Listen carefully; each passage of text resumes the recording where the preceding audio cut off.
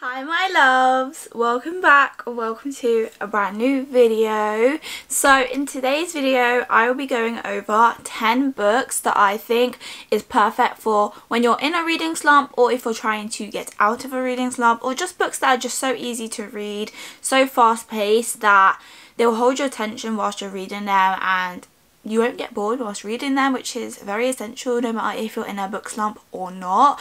And I thought I would go over 10 books that I thought would be perfect for that. You have a video where I tried to get out of my book slump. So if you want to see that and see the tips and tricks that I use definitely recommend watching that video first. And then if you want some book recommendations I recommend staying to watch this video. But I'm excited to go over the books. We have some romance, we have some fantasy and we have some mystery. So yeah I'm really excited to talk about these books got some black romance, some contemporary romance, we got some like mystery. And yeah I'm just excited to talk about all the books that I think are perfect books I know I have like so many books that I could actually probably talk about in regards to this and getting out of a book slump. I thought I'd just condense it down to 10 books so it's simple easy and if you guys want another video I can do another video with another book recommendation of books to read to get out of a book slump. But for today we're going to go over 10 of my top reads that have either helped me come out of a book slump or I think will be perfect for getting out of a book slump or when you're in a book slump. So first up, number one, we have Flawless by Elsie Silver.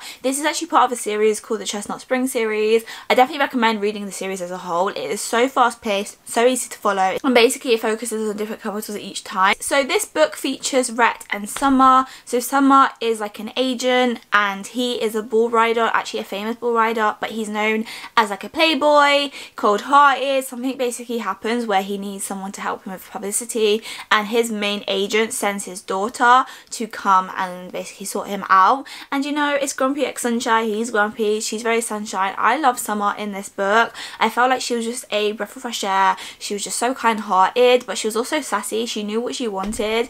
And seeing the development between these two characters they have an emotional connection but also a sexual tension which I absolutely adore. It's slow burn but when it happens it's perfect. And as well it's not too long either. I think it's like 350 pages maybe a little bit more. So it is perfect. You don't really want to be reading anything over like 400 pages if you're in a book slump. And I think this is perfect. I love the series as a whole and Flawless is one of my faves in the series. And the series as a whole is definitely a five star series for me. So definitely recommend this if you want to get out of a book slump or you're trying to find books to read whilst you're in your book slump. So definitely recommend. And then next up we're going to go on to a bit of a mystery. So we have The Natural by Jennifer Lynn Barnes. Again, this is part of a series. I've only read the first book, but in my trying to get out my book slump video, I did read this book and this helped me so much with getting out my book slump. It was so fast paced.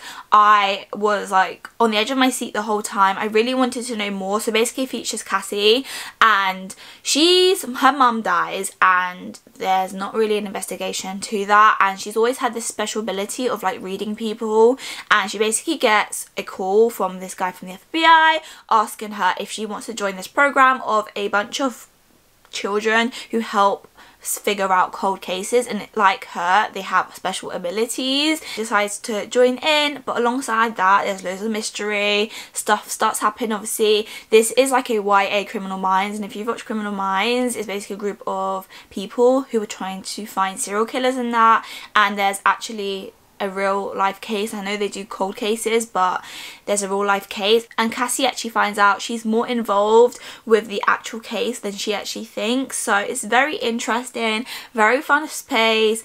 And yeah, I just really enjoyed it. It was a perfect read for me getting out of book slump and it's the perfect thing to do. Especially for a romance reader, sometimes a genre change is really essential, can help you. And I definitely recommend like mystery or thriller because there's something that's very different to romance and have different elements, which is really fun and really easy to read.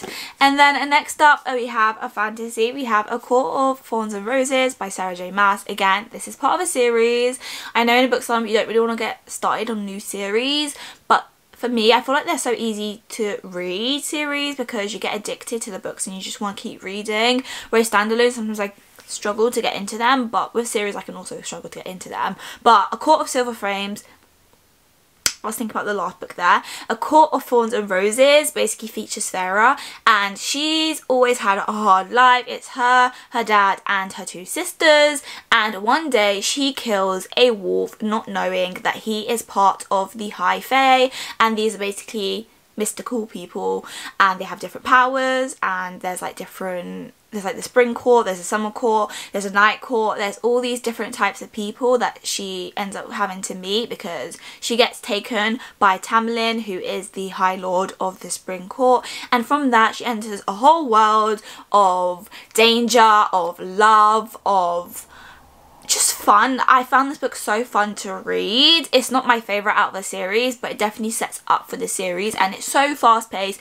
so fun, so easy to read and I love fantasy now because of this series. It's one of the series that has opened my eyes to fantasy and as I said, it's really fast paced, really easy to read and again, it's going to keep your attention, especially if you're always reading romance all the time but you want to kind of have something that's a bit romantic. This series is perfect because it's romantasy I would say. It's romance and fantasy and it's perfect. So I definitely recommend this if you haven't read it. And I know it's very popular now especially on TikTok so I definitely recommend reading it. It's really easy to read as well. And next up we have The Housemaid by Freida McFadden. This is a thriller mystery but this one's kind of for me it feels like it's set in like not the olden days, I feel weird saying that. Like basically it features this woman, she's a housemaid, at the beginning of the book, it's kind of like mysterious. She's kind of set up to be very mysterious, so she gets a job as a housemaid, but the wife is very weird, and it's basically following this housemaid's journey in this house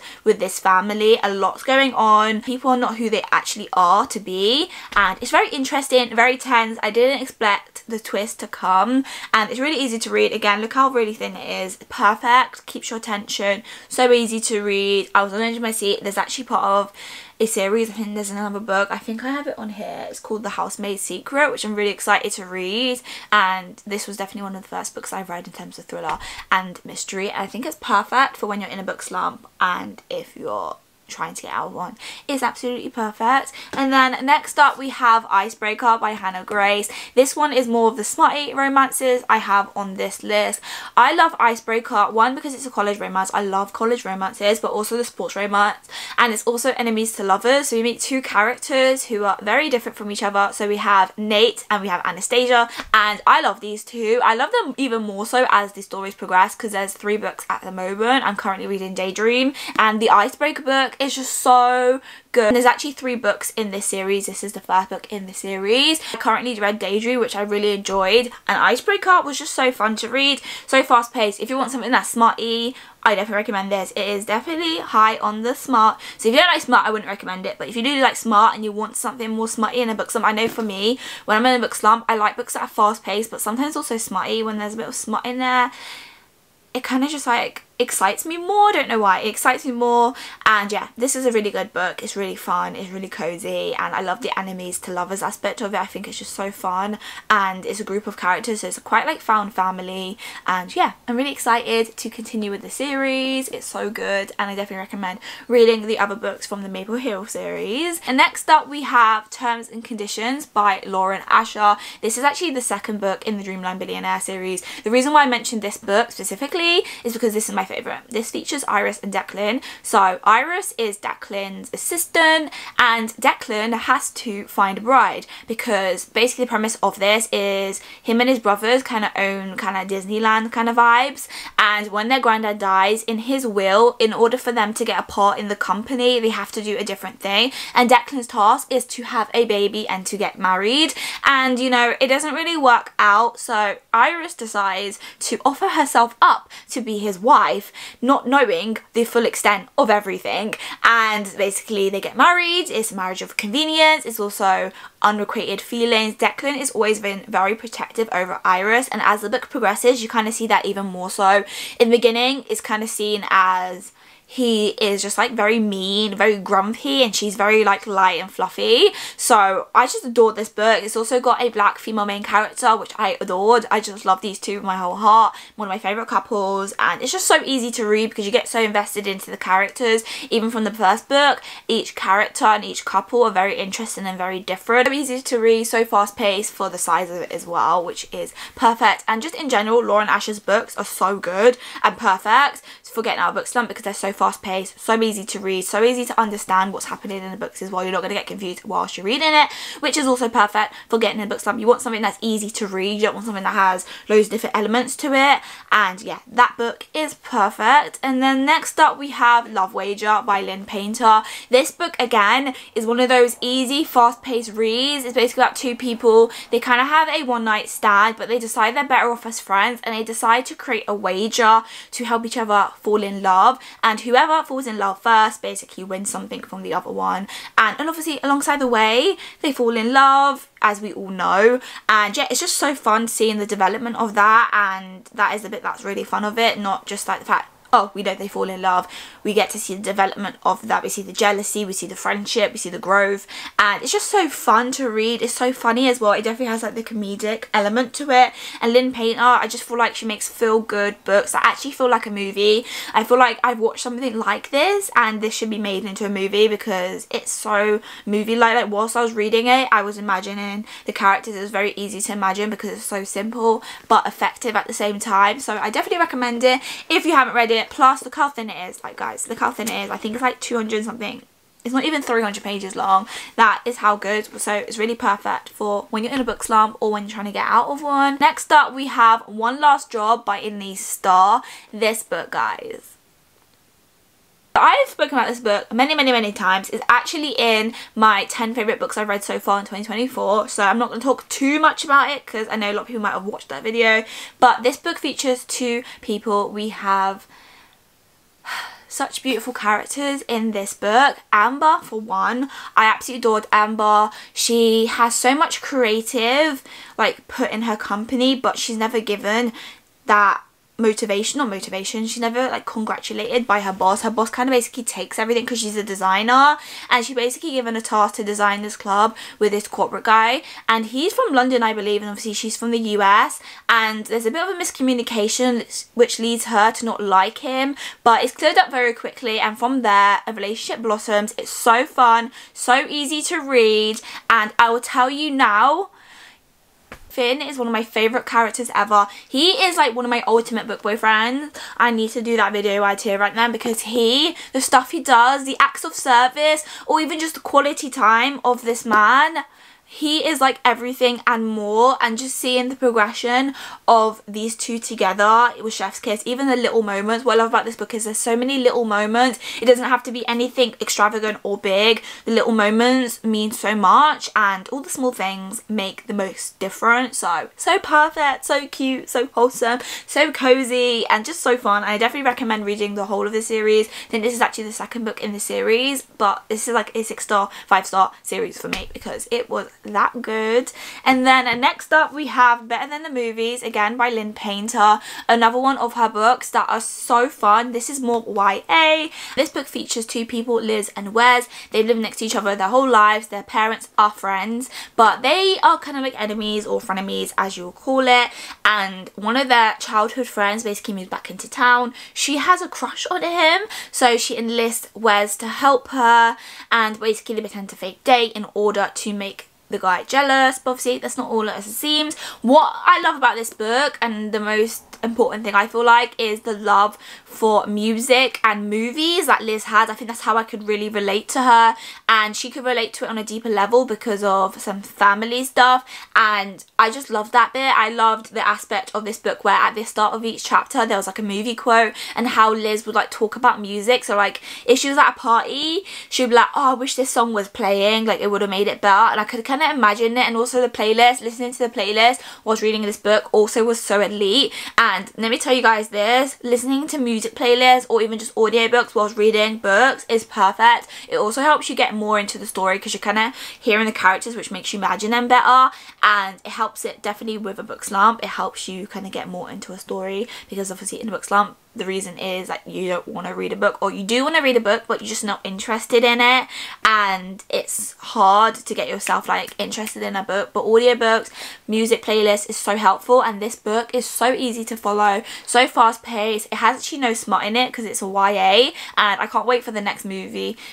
I'm even saying movie because this book feels so like a movie as well and I can't wait for the next book to come out. I think it comes out in October, I believe, and I just can't wait to read it because this book was just so good. One of my favourite YAs. I don't usually read YAs because I find them a bit immature, childlike, but this one, it had mature elements to it, but it still had the fun teen angst, and it was just so fun and cozy and fluffy, so definitely perfect for getting yourself out of book slump. Last but not least, we have Only for the Week by Natasha Bishop. Again, this book is in my recent video, 10 books that I read in 2020 that I loved so much and this book has all the holiday feels.